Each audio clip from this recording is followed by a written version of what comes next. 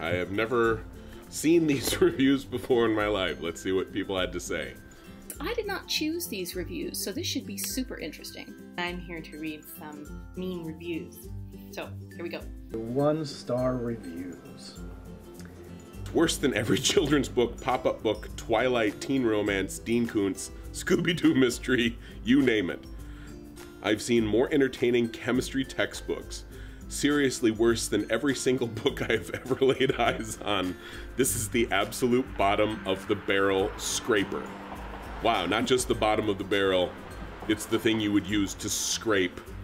This is the book equivalent of a spatula, is what he's saying. Worst piece of shit I have ever read. Worse than reading a bubblegum wrapper for one cent. Okay. So terrible. I tried so hard to finish, but it's just so bad. Do not waste your time on this book. Life's too short for crap like this steaming hot pile of shit. Very emphatic. This book should be thrown into the embers. Unoriginal.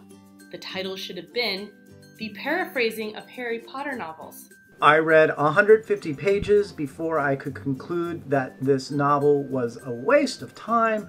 Shallow characters, simple dialogue, and silly plot made me wonder how this book could get any awards of any type. And no, Rothfuss, this book was not even funny either. No, Pat, no, it wasn't. What's wrong with you? What's wrong with you, Pat?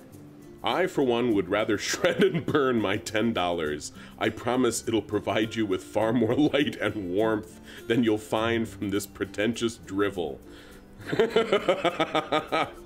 The book is flatter than a warm can of Sprite. No pop, no sizzle, and nothing that you'll remember in a week unless you're prone to disappointment like I am. Dull. J.K. Rowling is spinning in her grave. She's not dead. God. Okay. This thing moves at a pace that makes a glacier look like it could outrun a cheetah. This is the most boring story of revenge I've ever encountered. I have to say, I will take superlatives wherever I can get them. This book was like reading someone's 18th century Facebook wall. no thanks.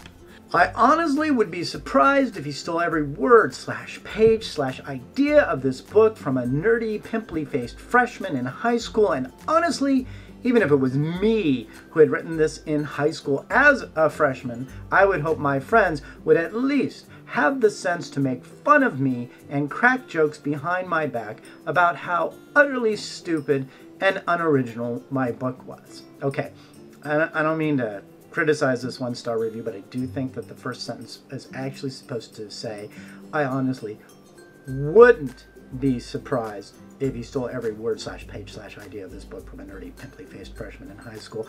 Again, don't really want to criticize, but come on, have a little craft. This has as much to do with sci fi as Harry Potter.